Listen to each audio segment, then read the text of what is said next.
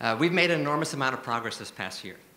Uh, so basically, our concept is an integral reactor.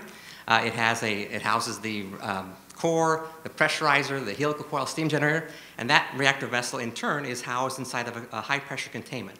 The entire module, uh, the NuScale power module, is factory built.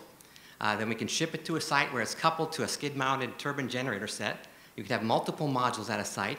Uh, each uh, NuScale power module is immersed in water, so it's underwater, uh, the entire containment, in a stainless steel lined concrete pool. So all the water that you need for safety is already in that pool. So now many of, I'm sure all of us are aware of the events at Fukushima and when they occurred. And I, I think it really highlighted the problem of not having power uh, to provide a reliable means of removing decay heat under station blackout conditions. And we think we've solved that problem. And we're calling it the triple crown of nuclear safety. So what do I mean by that?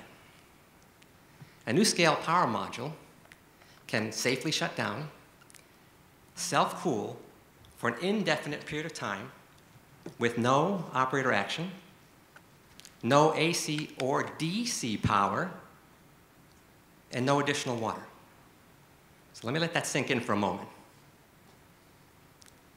No operator action, no AC or DC batteries, and no additional water. Uh, we believe this is a major breakthrough for nuclear power. Uh,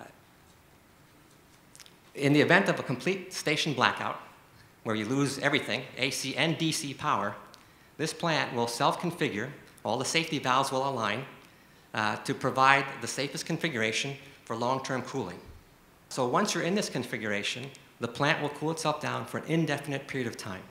And if you were unable to add water to the pool or provide cooling to the pool, uh, eventually, you would say this would boil off. And what that allows us to do is to go into air cooling. So this can be a natural convection air-cooled system uh, after a period of time. Uh, we wanted the world to start getting familiar with our design. So we've provided them with data uh, to learn how these coupled containment, uh, tightly coupled reactor vessel containment systems work in terms of passive systems. Uh, this has been very valuable. I think seven countries participated in that, including the NRC. So the idea is that by the time we submit our uh, design certification application, the NRC will be completely familiar with our design, and they'll know how to evaluate uh, our application. Thank you so much.